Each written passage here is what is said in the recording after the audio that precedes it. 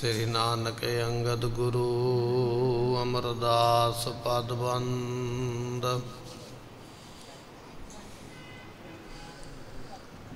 ਰਾਮਦਾਸ ਅਰਜਨ ਗੁਰੂ, ਬਰ ਸ੍ਰੀ ਹਰਗੋਬਿੰਦ। ਹਰ ਰਾਏ, ਹਰ ਕ੍ਰਿਸ਼ਨ ਗੁਰ। ਤੇਗ ਬਹਾਦਰ ਚੰਦ। ਦਸਵੇਂ ਗੋਬਿੰਦ ਸਿੰਘ ਗੁਰੂ। ਨਮੋ ਚਰਨ ਅਰਵਿੰਦ। ਜਿਸ ਮੈਂ ਅੰਮ੍ਰਿਤ ਗਿਆਨ ਹੈ ਇਹਦੀ ਰੇਜ਼ਰ ਖਰਾਬ ਹੋ ਗਈ। ਮਾਨਕ ਭਗਤ ਵੈਰਾਗ। ਸ੍ਰੀ ਗੁਰੂ ਗ੍ਰੰਥ ਸਾਹਿਬ ਉਦਦ। ਬੰਦੋ ਕਰ ਅਨੁਰਾਗ ਏਕਾੰਕਾਰ ਸਤਿਗੁਰੂ ਤੇ ਪ੍ਰਸਾਦ। ਸਚ ਹੋਏ। ਵਾਹਿਗੁਰੂ ਜੀ ਕੀ ਫਤਿਹ। ਹੈ। ਵਿਨਾਸਨ ਸੋਏ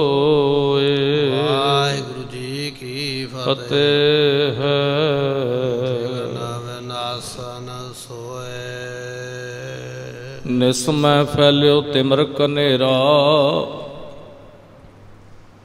ਗਏ ਨਿਕਸਨ ਕੋ ਤਿਸ ਬੇਰਾ ਗਏ ਨਿਕਾਸਨ ਕੋ ਤਿਸ ਬੇਰਾ ਅਵਨੀ ਖਨੀ ਅਦਕ ਬਲ ਲਾਈ, ਇਕ ਵਿਰਾਟ ਕਾ ਹਾਥ ਨਾ ਆਈ।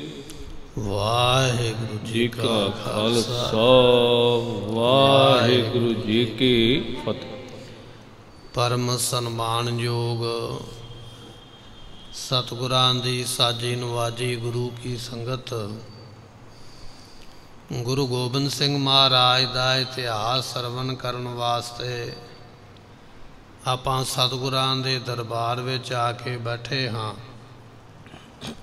ਗੁਰੂ ਗੋਬਿੰਦ ਸਿੰਘ ਮਹਾਰਾਜ ਜੀ ਦਮਦਮਾ ਸਾਹਿਬ ਦੀ ਧਰਤੀ, ਜਿਸ ਨੂੰ ਤਲਵੰਡੀ ਸਾਬੋ ਨਗਰ ਨੂੰ ਆਖਿਆ ਜਾਂਦਾ ਹੈ, ਇੱਥੇ ਮਹਾਰਾਜ ਸਾਹਿਬ ਜੀ ਬਰਾਜੇ ਨੇ। ਇੱਕ ਦਿਨ ਮਹਾਰਾਜ ਜੀ ਚਲਦਿਆਂ ਚਲਦਿਆਂ ਜਿੱਥੇ ਗੁਰਦੁਆਰਾ ਜੰਡਸਰ ਸਾਹਿਬ ਜੰਡਸਰ ਸਾਹਿਬ ਬਣਿਆ ਹੈ, ਇੱਥੇ ਬੈਠ ਕੇ ਮਹਾਰਾਜ ਆਪਣੀ ਫੌਜ ਨੂੰ, ਸਿੱਖਾਂ ਨੂੰ ਤਨਖਾਹ ਦਿੰਦੇ ਪਏ। ਅਗਲਾ ਦਿਨ ਫਿਰ ਚੜਿਆ, ਮਹਾਰਾਜ ਫਿਰ ਜਾ ਕੇ ਉੱਥੇ ਬੈਠ ਕੇ ਤਨਖਾਹ ਵੰਡਦੇ ਪਏ। ਆਪਣੇ ਆਸਨ ਦੇ ਥੱਲਿਓਂ ਮੁੱਠਾਂ ਭਰ ਭਰ ਕੇ ਮਾਇਆ ਦੀਆਂ ਮਹਾਰਾਜ ਦਈ ਜਾਂਦਾ। ਮਹਾਰਾਜ ਦੇ ਸੂਰਮੇ ਅਤੇ ਹੋਰ ਸੰਗਤ ਵੀ ਇਹ ਕੌਤਕ ਵੇਖਦੀ ਪਈ ਹੈ ਕਿ ਸਤਿਗੁਰੂ ਸਿੱਖਾਂ ਨੂੰ, ਸੰਗਤਾਂ ਨੂੰ ਮਾਇਆ ਵੰਡਦੇ ਪਏ।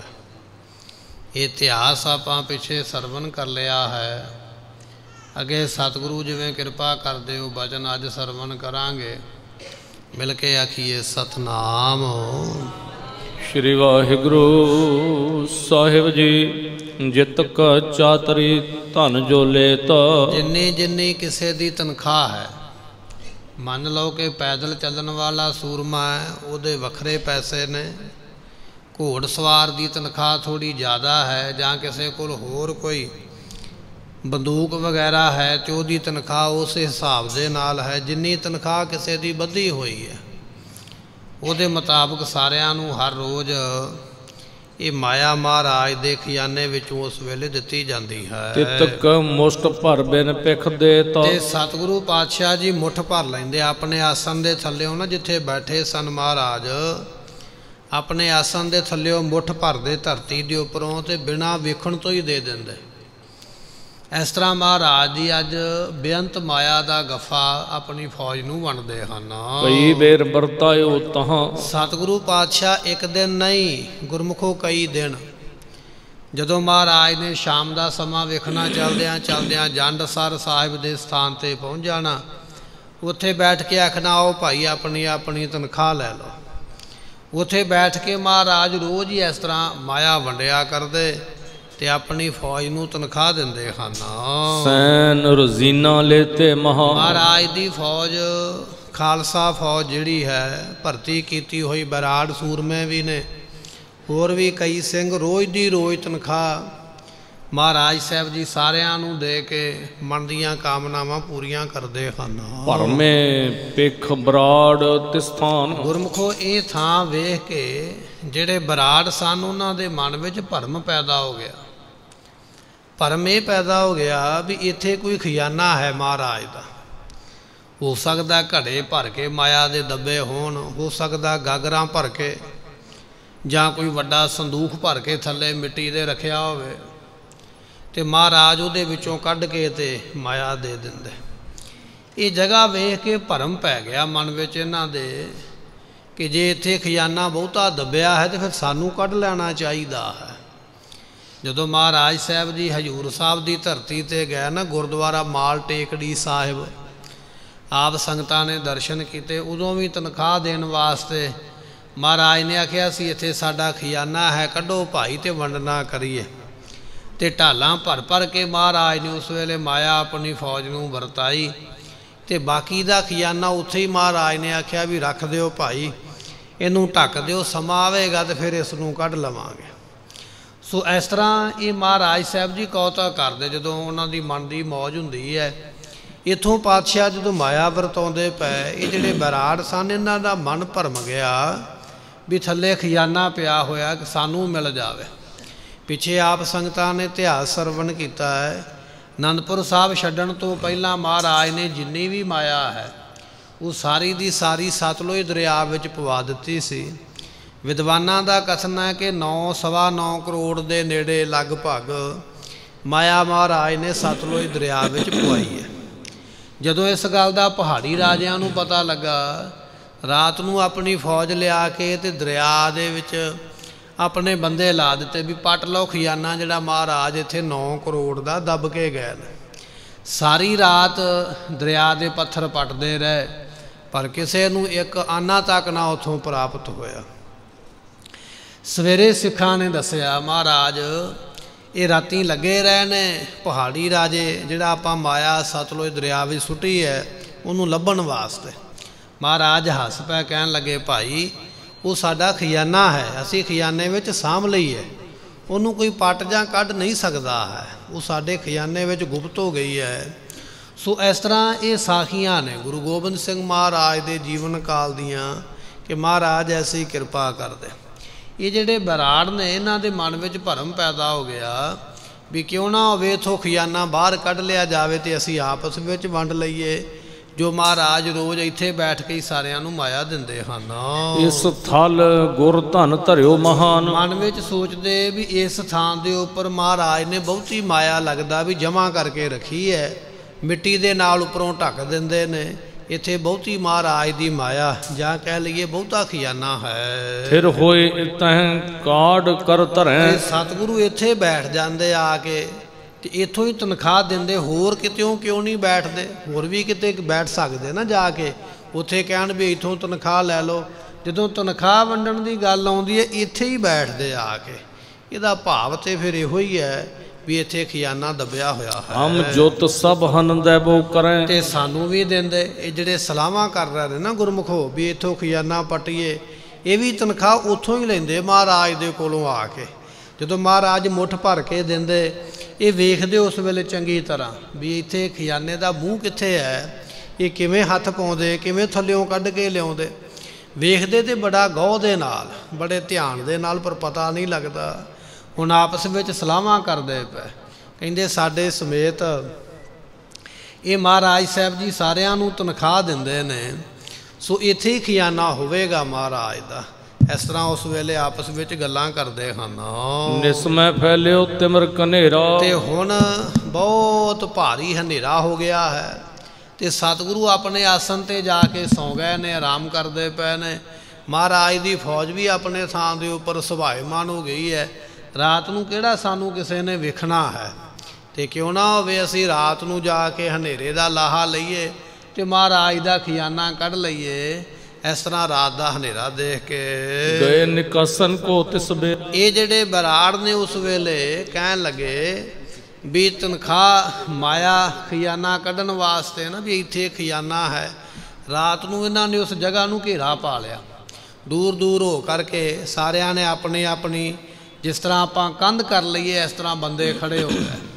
ਤੇ ਬੜੇ ਧਿਆਨ ਦੇ ਨਾਲ ਕਈਆਂ ਦੇ ਨਾਲ ਉਸ ਵੇਲੇ ਮਿੱਟੀ ਪਟਣ ਲੱਗ ਪਏ ਕਿ ਚਲੋ ਇਥੋਂ ਜਿਹੜੀ ਮਾਇਆ ਹੈ ਉਸ ਨੂੰ ਕੱਢੀਏ। ਇਸ ਤਰ੍ਹਾਂ ਉਸ ਵੇਲੇ ਲੱਗੇ ਹਨ। ਆਪਣੀ ਖਣੀ ਅਦਕ ਬਲ ਲਾਈ। ਗੁਰਮੁਖੋ ਬਹੁਤਾ ਜ਼ੋਰ ਲਾ ਕੇ ਨਾ ਹੁਣ ਮਿੱਟੀ ਪਟਣੀ ਸੌਖੇ ਸੌਖਾ ਕੰਮ ਨਹੀਂ ਹੈ। ਤੇ ਨਾ ਹੀ ਇਹ ਪਤਾ ਬਖੀਆਨਾ ਹੈ ਕਿੱਥੇ ਹੈ। ਲੱਗ ਪਿਆ ਮਿੱਟੀ ਪਟਣ। ਇੱਕ ਟੋਇਆ ਇੱਥੇ ਪਟਿਆ ਇੱਕ ਉੱਥੇ ਪਟਿਆ। ਟੋਏ ਪੱਟ ਪੱਟ ਕੇ ਸਾਰੀ ਰਾਤ ਮਿੱਟੀ ਪਟਦੇ ਰਹੇ। ਖਜ਼ਾਨਾ ਇੱਥੇ ਹੋਵੇਗਾ ਇੱਥੇ ਨਹੀਂ ਹੋਵੇਗਾ ਤੇ ਦੋ ਗਿੱਠਾਂ ਪਰੇ ਹੋਵੇਗਾ। ਉਥੋਂ ਪਟਿਆ ਹੁਣ ਇੱਥੇ ਨਹੀਂ ਤੇ ਅੱਧਾ ਫੁੱਟ ਹੋਰ ਪਰੇ ਹੋਵੇਗਾ। ਇਸ ਤਰ੍ਹਾਂ ਸਾਰੀ ਰਾਤ ਇਹ ਮਿੱਟੀ ਵਿੱਚੋਂ ਧਰਤੀ ਵਿੱਚੋਂ ਖਜ਼ਾਨਾ ਕੱਢਣ ਵਾਸਤੇ ਸਾਰੀ ਰਾਤ ਮਿੱਟੀ ਪਟਦੇ ਹਨ। ਇੱਕ ਵਿਰਾਟ ਕਾ ਹਾਥ ਨਾ ਭਾਈ ਆਈ। ਸੰਤੋਖ ਸਿੰਘ ਜੀ ਕਹਿੰਦੇ ਸਾਰੀ ਰਾਤ ਲੱਗੇ ਰਹੇ। ਦਿਨ ਚੜ ਗਿਆ, ਇੱਕ ਵੀ ਬਰਾਟਕਾ, ਇੱਕ ਵੀ ਆਨਾ, ਇੱਕ ਵੀ ਰੁਪਈਆ, ਇੱਕ ਵੀ ਕੌਡੀ ਹੱਥ ਨਹੀਂ ਆਈ, ਸਾਰੀ ਰਾਤ ਮਿੱਟੀ ਪਟਦਿਆਂ ਲੰਘ ਗਈ, ਪਰ ਇੱਕ ਵੀ ਕੌਡੀ ਨਹੀਂ ਮਿਲੀ, ਕਿਉਂਕਿ ਮਹਾਰਾਜ ਦੇ ਖਜ਼ਾਨੇ ਨੂੰ ਐਵੇਂ ਥੋੜੀ ਕੋਈ ਪਟ ਕੇ ਲੈ ਕੇ ਜਾ ਸਕਦਾ ਹੈ। ਇਸ ਤਰ੍ਹਾਂ ਖਜ਼ਾਨਾ ਮਿਲਦਾ ਹੋਵੇ ਤੇ ਫਿਰ ਪਹਾੜੀ ਰਾਜਿਆਂ ਨੇ ਸਤਲੁਜ ਦਰਿਆ ਪੱਟ ਸੁੱਟਿਆ ਹੈ, ਪਰ ਮਿਲਿਆ ਨਹੀਂ। ਹਜੂਰ ਸਾਹਿਬ ਦੀ ਧਰਤੀ ਤੇ ਮਾਲ ਟੇਕੜੀ ਗੁਰੂ ਘਰ, ਉੱਥੇ ਵੀ ਕਈਆਂ ਨੇ ਯਤਨ ਕੀਤੇ ਮਿੱਟੀ ਪੱਟਣ ਦੇ। ਮਿਲਿਆ ਉੱਥੋਂ ਵੀ ਨਹੀਂ ਹੈ। ਸੋ ਇਹ ਖਜ਼ਾਨੇ ਨੇ ਮਹਾਰਾਜ ਸਾਹਿਬ ਜੀ ਦੇ ਮਹਾਰਾਜ ਦੇ ਹੁਕਮ ਤੋਂ ਬਿਨਾ ਥੋੜੀ ਕੋਈ ਲੈ ਕੇ ਜਾ ਸਕਦਾ ਹੈ। ਸਾਰੀ ਰਾਤ ਮਿੱਟੀ ਪੱਟਦੇ ਰਹੇ ਪਰ ਕਿਸੇ ਨੂੰ ਵੀ ਇੱਕ ਕੌਡੀ ਨਹੀਂ ਮਿਲੀ ਹੈ। ਮੂਰਖ ਰਹੇ ਲਜਾਏ ਬਡੇਰੇ ਜਦੋਂ ਸਾਰੀ ਰਾਤ ਲੱਗ ਨਾ ਮਿਹਨਤ ਕਰਦਿਆਂ ਨਹੀਂ ਮਿਲਿਆ ਹੁਣ ਆਪਸ ਵਿੱਚ ਬੜੇ ਸ਼ਰਮਿੰਦੇ ਹੁੰਦੇ ਕਿਉਂਕਿ ਪਤਾ ਤੇ ਲੱਗ ਜਾਣਾ ਤਾਜੀ ਮਿੱਟੀ ਪੱਟੀ ਹੈ ਉਹ ਮਿੱਟੀ ਜੰਮ ਤੇ ਜਾਣੀ ਨਹੀਂ ਪਹਿਲਾਂ ਦੇ ਵਾਂਗ। ਜਦੋਂ ਕੋਈ ਮਹਾਰਾਜ ਦਾ ਸਿੱਖ ਲੰਘੇਗਾ, ਉਹ ਵੇਖ ਲੈਣਾ ਵੀ ਇਹ ਤਾਜੀ ਮਿੱਟੀ ਪੱਟੀ ਹੈ। ਤੇ ਇਹ ਆਪਣੇ ਆਪ ਹੀ ਦਿਮਾਗ ਵਿੱਚ ਇਹ ਗੱਲ ਆ ਜਾਣੀ ਹੈ ਵੀ ਮਹਾਰਾਜ ਇੱਥੇ ਬੈਠ ਕੇ ਮਾਇਆ ਵੰਡਦੇ। ਇਹ ਤੇ ਕਿਸੇ ਨੇ ਖਜ਼ਾਨਾ ਪਟਣ ਦਾ ਯਤਨ ਕੀਤਾ। ਹੈ ਹੁਣ ਸ਼ਰਮਿੰਦੇ ਹੁੰਦੇ ਪਏ, ਸਵੇਰੇ ਜਦੋਂ ਪਤਾ ਲੱਗੇਗਾ ਮਹਾਰਾਜ ਨੂੰ ਵੀ ਅਸੀਂ ਪਟਦੇ ਪਏ ਆ, ਤੇ ਅਸੀਂ ਕਿਹੜਾ ਮੂੰਹ ਲੈ ਕੇ ਜਾਵਾਂਗੇ ਮਹਾਰਾਜ ਦੇ ਕੋਲ? ਇਸ ਤਰ੍ਹਾਂ ਸ਼ਰਮਿੰਦੇ ਹੁੰਦੇ ਹਨ। ਪਛਤਾਏ ਨਿਜ ਕਰਮ ਖੁੱਟੇ ਰੇ ਆਪਣਾ ਖੋਟਾ ਕਰਮ ਵੇਖ ਕੇ ਹੁਣ ਪਛਤਾਉਂਦੇ ਪਏ। ਪਛਤਾਤਾਪ ਹੀ ਹੈ ਨਾ। ਜੇ ਸਾਨੂੰ ਪਹਿਲਾਂ ਪਤਾ ਹੁੰਦਾ ਅਸੀਂ ਨਾ ਹੀ ਇੱਥੇ ਆਉਂਦੇ ਨਾ ਮਿੱਟੀ ਪੱਟਦੇ। ਇੱਕ ਤੇ ਸਾਰੀ ਰਾਤ ਆਪਣੀ ਮਿਹਨਤ ਲਾਈ ਹੈ ਮਿਲਿਆ ਕੱਖ ਨਹੀਂ ਸਵੇਰੇ ਬਦਨਾਮੀ ਵੱਖਰੀ ਹੈ। ਹੁਣ ਪਛਤਾਤਾਪ ਹੈ। ਗੁਰੂ ਅਮਰਦਾਸ ਮਹਾਰਾਜ ਜੀਆਂ ਨੇ ਸਾਨੂੰ ਬਚਨ ਸਮਝਾਇਆ ਹੈ ਐਸਾ ਕੰਮ ਮੂਲੇ ਨਾ ਕੀਚੈ ਜਿਤ ਅੰਤ ਅੰਤ ਪਛੋਤਾ ਪਛੋਤਾਈ ਹੈ ਉਹ ਕੰਮ ਕਰੀਏ ਕਿਉਂ? ਜਿਹਨੂੰ ਕਰਕੇ ਬਾਅਦ ਵਿੱਚ ਪਛਤਾਉਣਾ ਪਵੇ। ਹੁਣ ਪਛਤਾਉਂਦੇ ਪਏ ਵੀ ਸਵੇਰੇ ਜੇ ਪਤਾ ਲੱਗ ਗਿਆ ਸਾਡੇ ਬਾਰੇ ਤੇ ਅਸੀਂ ਫਿਰ ਕੀ ਉੱਤਰ ਦੇਵਾਂਗੇ? ਇਸ ਤਰ੍ਹਾਂ ਪਛਤਾਤਾਪ ਕਰਦੇ ਹਨ ਇੱਕ ਦਿਨ ਡੱਲਾ ਨਿਸਾ ਮਜ਼ਾਰੀ। ਸਤਿਗੁਰੂ ਪਾਤਸ਼ਾਹ ਮਹਾਰਾਜ ਸਾਹਿਬ ਜੀ ਨੂੰ ਦੱਸ ਦਿੱਤਾ ਸਿੱਖਾਂ ਨੇ ਜਾ ਕੇ ਸਵੇਰੇ ਮਹਾਰਾਜ ਤੁਹਾਡਾ ਖਜ਼ਾਨਾ ਪਟਣ ਦੀ ਰਾਤੀ ਕੋਸ਼ਿਸ਼ ਹੋਈ ਹੈ। ਮਹਾਰਾਜ ਸੁਣ ਕੇ ਬਚਨ ਹੱਸ ਪੈ, ਕਹਿਣ ਲੱਗੇ, ਨਹੀਂ ਭਾਈ, ਸਾਡੇ ਖਜ਼ਾਨੇ ਨੂੰ ਕੋਈ ਵੀ ਨਹੀਂ ਪਟ ਸਕਦਾ। ਭਾਵੇਂ ਕੋਈ ਕਿੰਨਾ ਵੀ ਯਤਨ ਕਰ ਲਵੇ। ਇਸ ਤਰ੍ਹਾਂ ਮਹਾਰਾਜ ਨੇ ਸਾਰਿਆਂ ਨੂੰ ਸਮਝਾਇਆ। ਧੰਨ ਗੁਰੂ ਗੋਬਿੰਦ ਸਿੰਘ ਮਹਾਰਾਜ ਸਾਹਿਬ ਜੀ, ਰਾਤ ਨੂੰ ਜਦੋਂ ਪਲੰਘੇ ਤੇ ਸੌਂਦੇ ਨਾ, ਤੇ 25 ਸਿੰਘ ਮਹਾਰਾਜ ਦੀ ਸੇਵਾ ਵਿੱਚ ਪਹਿਰੇ ਦੇ ਉੱਪਰ ਜਾ ਕੇ ਖੜਦੇ ਸਾਰੀ ਰਾਤ ਦਾ ਸੇਵਾ, ਸ਼ਹੀਦ ਸਿੰਘਾਂ ਦੀ ਫੌਜ ਵੱਖਰੀ ਲੱਗਦੀ ਹੈ। ਇੱਕ ਦਿਨ ਭਾਈ ਡੱਲੇ ਦੇ ਮਨ ਵਿੱਚ ਆਇਆ ਡੱਲੇ ਚੌਧਰੀ ਦੇ ਇਲਾਕੇ ਦਾ ਸਰਦਾਰ ਹੈ ਇਲਾਕੇ ਦਾ ਮੋਤਬਾਰ ਹੈ। ਮਨ ਵਿੱਚ ਆਇਆ ਸਤਿਗੁਰੂ ਪਾਤਸ਼ਾਹ ਰਾਤ ਨੂੰ ਸੌਂ ਜਾਂਦੇ ਤੇ ਕਿਉਂ ਨਾ ਹੋਵੇ ਮੈਂ ਸੇਵਾ ਕਰਾਂ ਐਸੀ ਭਾਵਨਾ ਮਨ ਵਿੱਚ ਲੈ ਕੇ। ਸਿਪਰ ਖੜਗ ਦੋਨੋਂ ਹੱਥ ਧਾਰੀ। ਦੋਨਾਂ ਹੱਥਾਂ ਵਿੱਚ ਇੱਕ ਵਿੱਚ ਖੰਡਾ ਫੜ ਲਿਆ ਇੱਕ ਵਿੱਚ ਢਾਲ ਫੜ ਕੇ ਨਾ ਤੇ ਪਹਿਰੇਦਾਰ ਬਣ ਕੇ ਕਮਰ ਕਸਾ ਲਾ ਕੇ ਤਿਆਰ ਬਰ ਤਿਆਰ ਹੋ ਕੇ ਮਹਾਰਾਜ ਦੇ ਪਹਿਰੇ ਤੇ ਆ ਕੇ ਖੜ ਗਿਆ ਹੈ। ਗੁਰੂ ਦੁਆਰ ਪਰ ਦ੍ਰਿੜ ਹੋਇਆ ਰਹੇ। ਸਤਿਗੁਰੂ ਪਾਤਸ਼ਾਹ ਮਹਾਰਾਜ ਦੇ ਦਰਵਾਜ਼ੇ ਤੇ ਜਿੱਥੋਂ ਇਹਨੂੰ ਪਤਾ ਸੀ ਵੀ ਇਧਰੋਂ ਲੋਕ ਆਉਂਦੇ ਜਾਂਦੇ ਬੜੀ ਮੁਸ਼ਤੈਦੀ ਦੇ ਨਾਲ ਸਾਵਧਾਨਤਾ ਦੇ ਨਾਲ ਖੜ ਗਿਆ ਡੱਲਾ ਚੌਧਰੀ ਆਪ ਕਿ ਮੈਂ ਪਹਿਰਾ ਦੇਵਾਂਗਾ ਸਾਰੀ ਰਾਤ ਜਾ ਕੇ ਕੋਈ ਨੁਕਸਾਨ ਨਾ ਕਰ ਦੇਵੇ ਮਹਾਰਾਜ ਦੇ ਆਰਾਮ ਕਰਦਿਆਂ ਹੋਇਆਂ।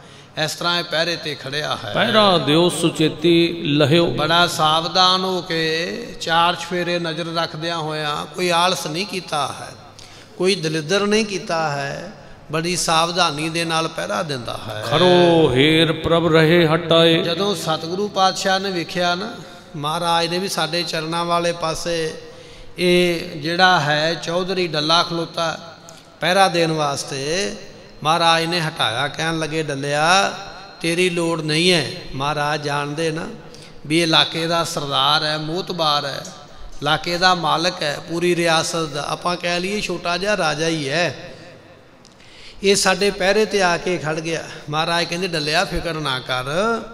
ਤੈਨੂੰ ਪਹਿਰਾ ਦੇਣ ਦੀ ਲੋੜ ਨਹੀਂ। ਤੇਰੇ ਤੇ ਬੜੇ ਖੁਸ਼ ਹਾਂ ਇਹ ਸਾਡੇ ਸਿੰਘਾਂ ਨੇ ਆਪੇ ਹੀ ਇਹ ਪਹਿਰੇਦਾਰੀ ਦੀ ਸੇਵਾ ਕਰ ਲੈਣੀ ਹੈ ਜਾ ਚਲੇ ਜਾ ਤੈਨੂੰ ਪਹਿਰਾ ਦੇਣ ਦੀ ਲੋੜ ਨਹੀਂ ਹੈ। ਕਰੋ ਹੀਰ ਪ੍ਰਭ ਰਹੇ ਹਟਾਏ। ਸਤਿਗੁਰੂ ਪਾਤਸ਼ਾਹ ਹਟਾਉਂਦੇ ਪਏ ਕਹਿੰਦੇ ਡੱਲਿਆ ਜਾ ਚਲੇ ਜਾ ਤੂੰ ਨਾ ਰਾਤ ਨੂੰ ਇੰਨੀ ਨਾ ਤੂੰ ਇਹ ਜਿਹੜੀ ਹੈ ਵੀ ਸੇਵਾ ਵਿੱਚ ਇੰਨਾ ਨਾ ਤੂੰ ਡਟ ਆਪਣੇ ਆਪ ਨੂੰ ਇੰਨਾ ਕਸ਼ਟ ਨਾ ਦੇ ਸੋ ਇੰਨੀ ਗੱਲ ਨਾ ਨਾ ਕਾਲ ਅਸੀਂ ਤੇਰੇ ਤੇ ਖੁਸ਼ ਹਾਂ।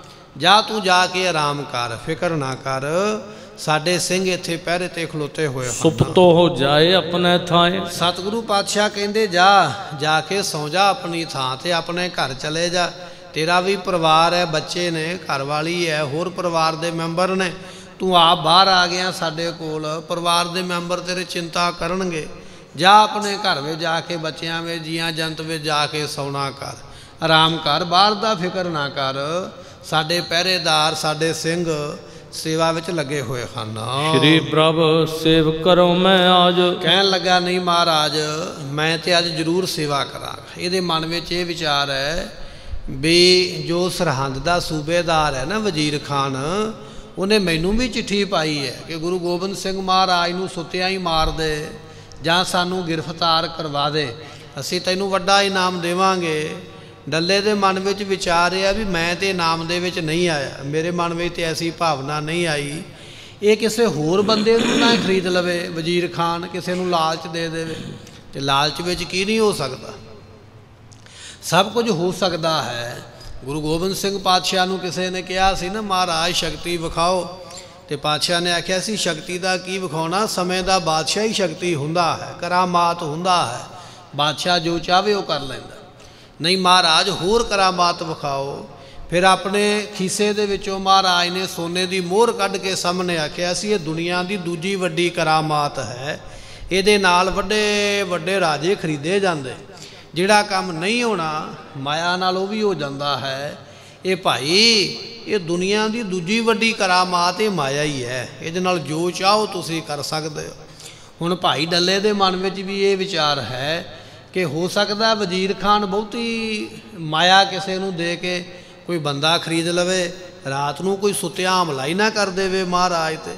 ਕਹਿਣ ਲੱਗਾ ਨਹੀਂ ਮਹਾਰਾਜ ਮੈਂ ਨਹੀਂ ਅੱਜ ਜਾਵਾਂਗਾ ਅੱਜ ਤੇ ਮੈਂ ਪਹਿਰੇ ਤੇ ਰਵਾਂਗਾ ਇਸ ਤਰ੍ਹਾਂ ਬੇਨਤੀ ਕਰਦਾ ਹੈ। ਲੈ ਸੇਵਾਂ ਮੈਂ ਪਿਖੋਂ ਸਮਝ ਮਹਾਰਾਜ ਮੈਂ ਨਹੀਂ ਸੋਵਾਂਗਾ ਮੈਂ ਅੱਜ ਸਾਰੀ ਰਾਤ ਪਹਿਰਾ ਦੇ ਕੇ ਵੇਖਾਂਗਾ ਵੀ ਕਿੱਥੇ ਕਚਿਆਈ ਹੈ ਕਿੱਥੇ ਪਕਿਆਈ ਹੈ। ਇਹ ਰਾਤ ਨੂੰ ਪਹਿਰਾ ਕਿਵੇਂ ਬੰਦੇ ਦਿੰਦੇ ਨੇ? ਕੋਈ ਆਲਸ ਤੇ ਨਹੀਂ ਕਰਦਾ ਕੋਈ ਢਿੱਲਾਪਣ ਤੇ ਨਹੀਂ ਆਉਂਦਾ ਕਿਸੇ ਵਿੱਚ। ਸੋ ਕਿਸੇ ਤਰ੍ਹਾਂ ਦਾ ਇਹ ਦਲਿੱਦਰ ਤੇ ਨਹੀਂ ਕਰਦੇ। ਅੱਜ ਮੈਂ ਸਾਰੀ ਰਾਤ ਜਾਗਾਂਗਾ। ਮੈਂ ਖੁਦ ਵੇਖਾਂਗਾ ਵੀ ਇਹ ਕਿੰਨੀ ਕੁ ਸਾਵਧਾਨਤਾ ਵਰਤਦੇ ਨੇ। ਮਹਾਰਾਜ ਅੱਜ ਮੈਂ ਪਹਿਰਾ ਦੇਣਾ ਹੈ। ਇਮ ਕਹਿ ਖਰੂ ਰਹਿਓ ਨਿਸ ਜਾਗਾ। ਸਤਿਗੁਰੂ ਪਾਤਸ਼ਾਹ ਕਹਿੰਦੇ ਚਲੋ ਭਾਈ ਫਿਰ ਤੇਰੀ ਮਰਜ਼ੀ ਹੈ ਭਾਈ ਡੱਲੇ ਚੌਧਰੀ ਅਸੀਂ ਤੇ ਆਖਿਆ ਵੀ ਕੋਈ ਗੱਲ ਨਹੀਂ ਤੂੰ ਆਰਾਮ ਕਰ ਲੈ। ਪਰ ਜੇ ਤੂੰ ਹੁਣ ਜਾਗਣਾ ਹੀ ਚਾਹੁੰਦਾ ਤੂੰ ਮਨ ਬਣਾ ਲਿਆ। ਚਲ ਤੇਰੀ ਫਿਰ ਮੌਜ ਹੈ ਭਾਈ। ਇਹ ਬਚਨ ਹੋਇਆ ਡੱਲਾ ਚੌਧਰੀ ਸਾਰੀ ਰਾਤ ਹੱਥ ਵਿੱਚ ਢਾਲ ਫੜ ਕੇ ਖੰਡਾ ਫੜ ਕੇ ਪੂਰਾ ਸਾਵਧਾਨ ਹੋ ਕੇ ਪਹਿਰੇ ਦੇ ਉੱਪਰ ਉਸ ਵੇਲੇ ਖਲੋਤਾ ਹੈ। ਗੁਰ ਗੁਰ ਜਪਿਓ ਪ੍ਰੇਮ ਮਹਿ ਪਾਗਾ। ਗੁਰਮੁਖੋ ਕੱਲਾ ਪਹਿਰੇ ਤੇ ਨਹੀਂ ਖਲੋਤਾ ਹੈ ਸਾਰੀ ਰਾਤ ਹੀ ਆਪਣੇ ਮੁਖੋਂ ਜਾਪ ਕਰਦਾ ਰਿਹਾ ਸਤ ਨਾਮ ਵਾਹਿਗੁਰੂ ਸਤ ਨਾਮ ਵਾਹਿਗੁਰੂ ਸਤ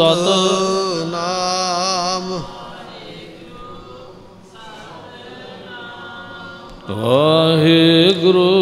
ਗੁਰੂ ਗੁਰੂ ਗੁਰ ਕਰ ਮਨ ਮੋਰ ਗੁਰੂ ਬਿਨਾ ਮੈਂ ਨਹੀਂ ਨਹੀਂ ਹੋਰ। ਇਸ ਤਰ੍ਹਾਂ ਸਾਰੀ ਰਾਤ ਗੁਰੂ ਗੁਰੂ ਦਾ ਜਾਪ ਕਰਕੇ ਡੱਲਾ ਚੌਧਰੀ ਪਹਿਰੇ ਦੇ ਉੱਪਰ ਖਲੋਤਾ ਉਠੇ ਹੈ। ਪ੍ਰਾਤ ਪਿਖ ਡੱਲਾ ਖਰਿਓ। ਸਤਿਗੁਰੂ ਪਾਤਸ਼ਾਹ ਅੰਮ੍ਰਿਤ ਵੇਲੇ ਉੱਠ ਪਿਆ ਨਿਤਨੇ ਮੈਂ ਗੁਰੂ ਘਰ ਦਾ ਮਰਿਆਦਾ ਗੁਰੂ ਘਰ ਦੀ ਇਹ ਹੈ ਵੀ ਅੰਮ੍ਰਿਤ ਵੇਲੇ ਉੱਠਣਾ। ਅੰਮ੍ਰਿਤ ਵੇਲਾ ਹੋਇਆ। ਧੰਨ ਗੁਰੂ ਗੋਬਿੰਦ ਸਿੰਘ ਮਹਾਰਾਜ ਜੀ ਉੱਠੇ ਨਾ ਪਲੰਗੇ ਤੋਂ। ਕੀ ਵੇਖਦੇ ਪਿਆ? ਡੱਲਾ ਅਜੇ ਵੀ ਪਹਿਰੇ ਤੇ ਖਲੋਤਾ। ਪੂਰੀ ਸਾਵਧਾਨਤਾ ਦੇ ਨਾਲ ਇੱਧਰ ਉੱਧਰ ਵੇਖਦਾ ਪਿਆ। ਮਹਾਰਾਜ ਨੇ ਡੱਲੇ ਨੂੰ ਖੜਿਆਂ ਵੇਖ ਕੇ। ਹੋਏ ਪ੍ਰਸੰਨ ਮੁਖ ਤੇ ਬਚ ਕਰਿਓ। ਸਤਿਗੁਰੂ ਬੜੇ ਖੁਸ਼ ਹੋਏ ਬੜੇ ਹੀ ਖੁਸ਼ ਹੋਏ। ਵੇਖੋ ਕਿੱਡਾ ਵੱਡਾ ਸਰਦਾਰ ਹੈ ਕਿੰਨੀ ਜਗੀਰ ਦਾ ਮਾਲਕ ਹੈ। ਇੱਕ ਰਜਵਾੜਾ ਆਪਣੇ ਇਲਾਕੇ ਦਾ ਕਿੰਨੇ ਪਿੰਡੇ ਦੇ ਅਧੀਨ ਨੇ। ਫਿਰ ਵੀ ਇੱਕ ਆਮ ਸੇਵਾਦਾਰ ਦੇ ਵਾਂਗ ਆਮ ਸਿਪਾਹੀ ਦੇ ਵਾਂਗ ਨੌਕਰਾਂ ਦੇ ਵਾਂਗ ਸਾਡੇ ਪਹਿਰੇ ਤੇ ਖਲੋਤਾ ਹੈ। ਇਹਦੀ ਨਿਮਰਤਾ ਵੇਖ ਕੇ ਇਹਦਾ ਪਿਆਰ ਵੇਖ ਕੇ ਇਹਦੀ ਸੇਵਾ ਵੇਖ ਕੇ ਮਹਾਰਾਜ ਸਾਹਿਬ ਜੀ ਉਸ ਵੇਲੇ ਬੜੇ ਖੁਸ਼ ਹੋਏ ਤੇ ਪ੍ਰਸੰਨ ਹੋ ਕੇ ਫਿਰ ਮਹਾਰਾਜ ਨੇ ਆਖਿਆ ਹੈ। ਜਾ ਚਲਿਓ ਮਨ ਕਾਮਨ ਜੋਏ। ਮਹਾਰਾਜ ਕਹਿਣ ਲੱਗੇ ਡੱਲੇ ਚੌਧਰੀ ਮੰਗਲਾ ਕੀ ਚਾਹੀਦਾ? ਜੋ ਮੰਗੇਗਾ ਉਹ ਅੱਜ ਮਿਲੇਗਾ। ਤੂੰ ਸਾਡੀ ਸੇਵਾ ਕੀਤੀ ਹੈ। ਅਸੀਂ ਤੇਰੇ ਤੇ ਬੜੇ ਖੁਸ਼ ਹੋ ਗਏ ਹਾਂ। ਤੂੰ ਸਾਰੀ ਰਾਤ ਜਾਗਦਾ ਰਿਹਾ। ਪਿਛੇ ਆਪਾਂ ਇਤਿਹਾਸ ਵਿੱਚ ਬਚਨ ਸਰਵਣ ਕੀਤਾ ਹੈ ਨਾ, ਮਹਾਰਾਜ ਦੇ ਪਹਿਰੇ ਤੇ ਸਮੂ ਫਤੂ ਆ ਕੇ ਖੜ ਗਏ ਸਨ ਉਸ ਵੇਲੇ, ਜਦੋਂ ਪਿੰਡ ਦੇ ਲੋਕਾਂ ਨੂੰ ਮਹਾਰਾਜ ਨੇ ਆਖਿਆ ਸੀ, ਸਾਡਾ ਪਹਿਰਾ ਦਿਓ ਆ ਕੇ। ਤੇ ਪਿੰਡ ਵਾਲੇ ਕਹਿੰਦੇ, ਮਹਾਰਾਜ, ਇਲਾਕਾ ਸਾਡਾ ਤੁਹਾਡੇ ਵੱਲ ਵੇਖ ਕੋਈ ਨਹੀਂ ਸਕਦਾ। ਸਾਡਾ ਬੜਾ ਦਬਦਬਾ, ਬੜਾ ਮਾਣ ਹੈ ਮਨ ਵਿੱਚ। ਪਾਤਸ਼ਾਹ ਨੇ ਆਖਿਆ, ਚੰਗੀ ਗੱਲ ਹੈ, ਤੁਹਾਡਾ ਦਬਦਬਾ ਪਰ ਫਿਰ ਵੀ ਸਾਡਾ ਪਹਿਰਾ ਦਿਓ। ਕਹਿੰਦੇ, ਚਲੋ ਮਹਾਰਾਜ, ਦੇ ਦੇਾਂਗੇ ਪਹਿਰਾ। ਇੰਨੀ ਗੱਲ ਕਰਕੇ ਘਰੇ ਚਲੇ ਗਏ। ਘਰੇ ਜਾ ਕੇ ਆਪਣੇ ਨੌਕਰਾਂ ਨੂੰ ਭੇਜਿਆ, ਜਾਓ ਜਾ ਕੇ ਸਾਡਾ ਪਹਿਰਾ ਦਿਓ, ਅਸੀਂ ਤੇ ਰਾਤ ਨੂੰ ਨਹੀਂ ਆ ਸਕਦੇ। ਸਤਿਗੁਰੂ ਪਾਤਸ਼ਾਹ ਮਹਾਰਾਜ ਨੇ 9 ਵਜੇ ਦਾ ਸਮਾਂ ਹੋਇਆ ਤੇ ਪੁੱਛਿਆ, ਪਿੰਡ ਵਿੱਚੋਂ ਆਇਆ ਕੋਈ ਪਹਿਰਾ ਦੇਣ? ਨੌਕਰਾਂ ਨੇ ਆਵਾਜ਼ ਦਿੱਤੀ, ਨਹੀਂ ਮਹਾਰਾਜ, ਕੋਈ ਨਹੀਂ ਆਇਆ, ਪਰ ਅਸੀਂ ਆਏ ਆ 12 ਵਜੇ ਦਾ ਸਮਾਂ ਹੋਇਆ, ਫਿਰ ਪੁੱਛਿਆ, ਕਹਿਣ ਲੱਗੇ, ਆਇਆ ਪਿੰਡ ਵਿੱਚੋਂ ਪਹਿਰਾ ਦੇਣ? ਨੌਕਰਾਂ ਨੇ ਫਿਰ ਆਵਾਜ਼ ਦਿੱਤੀ, ਮਹਾਰਾਜ, ਕੋਈ ਨਹੀਂ ਆਇਆ, ਪਰ ਅਸੀਂ ਖਲੋਤੇ ਆ ਪਹਿਰੇ ਤੇ। 3 ਵਜੇ ਦਾ ਸਮਾਂ ਹੋਇਆ ਮਹਾਰਾਜ ਨੇ ਫਿਰ ਆਵਾਜ਼ ਦਿੱਤੀ ਕੋ ਆਇਆ ਪਿੰਡ ਵਿੱਚੋਂ ਪਹਿਰਾ ਲਾਉਣ ਵਾਸਤੇ? ਨੌਕਰਾਂ ਨੇ ਆਖਿਆ, ਮਹਾਰਾਜ, ਸਾਰੇ ਪਿੰਡ ਵਾਲੇ ਸ਼ਰਾਬ ਪੀ ਕੇ ਸੁਤੇ ਪਏ। ਉਹਨਾਂ ਨੇ ਕਿੱਥੋਂ ਪਹਿਰਾ ਦੇਣਾ? ਅਸੀਂ ਆ ਉਹਨਾਂ ਦੇ ਨੌਕਰ, ਪਰ ਫਿਰ ਵੀ ਅਸੀਂ ਨਮਕ ਹਰਾਮੀ ਨਹੀਂ ਬਣਾਂਗੇ। ਨਮਕ ਹਲਾਲੀ ਬਣਾਂਗੇ। ਅਸੀਂ ਪਹਿਰੇ ਤੇ ਖਲੋਤੇ ਆ ਮਹਾਰਾਜ। ਸਾਡੇ ਸਿਰ ਭਾਵੇਂ ਕੱਟ ਜਾਣ, ਪਰ ਸਿਵਾ ਤੋਂ ਅਸੀਂ ਪਿੱਛੇ ਨਹੀਂ ਹਟਦੇ। ਆਪ ਆਰਾਮ ਕਰੋ। ਜਦੋਂ ਦਿਨ ਚੜਿਆ ਮਹਾਰਾਜ ਨੇ ਨੌਕਰ ਬੁਲਾਏ ਕੋਲ। ਪਾਤਸ਼ਾਹ ਕਹਿੰਦੇ, ਮੰਗੋ ਕੀ ਚਾਹੀਦਾ ਹੈ? ਤੁਸੀਂ ਸਾਰੀ ਰਾਤ ਸੇਵਾ ਕੀਤੀ ਹੈ। ਹੱਥ ਜੋੜ ਕੇ ਆਖਿਆ ਕਹਿਣ ਲੱਗੇ, ਮਾਲਕ ਮਹਾਰਾਜ ਜੀ, ਆਪ ਕਿਰਪਾ ਕਰਨ ਲੱਗੇ ਹੋ। ਅਸੀਂ ਨੌਕਰ ਆ ਪਾਤਸ਼ਾਹ ਇਹਨਾਂ ਦੇ। ਗਾਲਾਂ ਵੀ ਖਾਈਦੀਆਂ, ਕੰਮ ਵੀ ਕਰੀਦਾ ਤੇ ਗੁਜ਼ਾਰਾ ਮਸਾ ਹੀ ਹੁੰਦਾ। ਆਪ ਕਿਰਪਾ ਕਰੋ, ਸਾਨੂੰ ਇੰਨੇ ਸਮਰੱਥ ਕਰ ਦਿਓ ਵੀ ਨੌਕਰ ਪੁਣਾ ਨਾ ਕਰਨਾ ਪਵੇ। ਇਹਨਾਂ ਨੌਕਰਾਂ ਦਾ ਬਚਨ ਸੁਣ ਕੇ ਮਹਾਰਾਜ ਬੜੇ ਖੁਸ਼ ਹੋਏ ਇਹਨਾਂ ਦੀ ਸੇਵਾ ਤੋਂ। ਕਹਿੰਦੇ, ਜਾਓ ਭਾਈ, ਘੋੜੇ ਤੇ ਚੜ ਕੇ ਘੋੜਾ ਹੀ ਫੇਰ ਲਓ, ਜਿੱਥੋਂ ਤੱਕ ਫੇਰੋਗੇ, ਉਸ ਜਗੀਰ ਦੇ ਤੁਸੀਂ ਮਾਲਕ ਬਣ ਜਾਓਗੇ। ਪਾਤਸ਼ਾਹ ਨੇ ਨੌਕਰਾਂ ਨੂੰ ਜਗੀਰਦਾਰ ਬਣਾ ਦਿੱਤਾ, ਮਾਲਕ ਬਣਾ ਦਿੱਤਾ।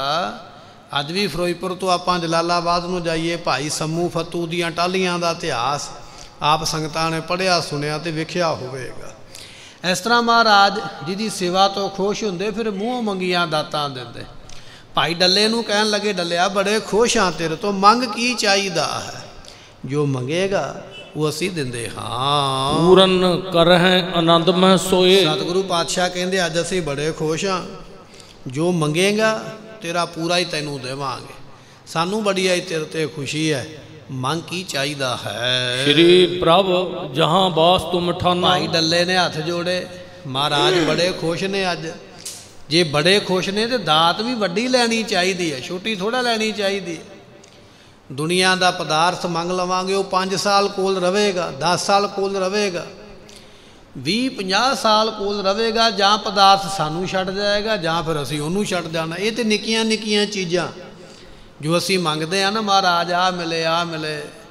ਇਹ ਤੇ ਕੁਝ ਸਮੇਂ ਵਾਸਤੇ ਨੇ। ਜਾਂ ਉਹ ਸਾਨੂੰ ਛੱਡ ਦੇਣਗੇ, ਜਾਂ ਫਿਰ ਅਸੀਂ ਉਸ ਚੀਜ਼ ਨੂੰ ਛੱਡ ਦੇਵਾਂਗੇ ਜਿਹੜੀ ਮੰਗੀ ਹੈ।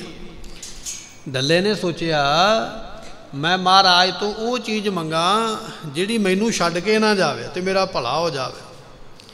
ਭਾਈ ਡੱਲੇ ਨੇ ਹੱਥ ਜੋੜ ਕੇ ਆਖਿਆ, ਕਹਿਣ ਲੱਗਾ, ਮਹਾਰਾਜ, ਜੇ ਆਪ ਖੁਸ਼ ਹੋ ਕੇ ਦੇਣ ਲੱਗੇ ਹੋ, ਫਿਰ ਜਿੱਥੇ ਤੁਹਾਡਾ ਨਿਵਾਸ ਹੈ ਨਾ ਮਹਾਰਾਜ ਜੀ ਫਿਰ ਮੇਰੇ ਤੇ ਕਿਰਪਾ ਕਰੋ। ਇੱਕ ਪੀੜੀ ਕੋ ਮੈਂ ਦੇਹੁ ਠਾਨਾ। ਸਤਿਗੁਰੂ ਪਾਤਸ਼ਾਹ ਸੱਚਖੰਡ ਵਸੈ। ਨਿਰੰਕਾਰ। ਕਰ ਕਰ ਵੇਖੈ। ਨਦਰ ਨਿਹਾਲ। ਸੱਚਖੰਡ ਦੇ ਵਿੱਚ ਜਿੱਥੇ ਤੁਹਾਡਾ ਨਿਵਾਸ ਹੈ ਨਾ ਪਾਤਸ਼ਾਹ ਮੈਨੂੰ ਇੱਕ ਪੀੜੀ ਜਿੰਨੀ ਜਗ੍ਹਾ ਉੱਥੇ ਦੇ ਦਿਓ।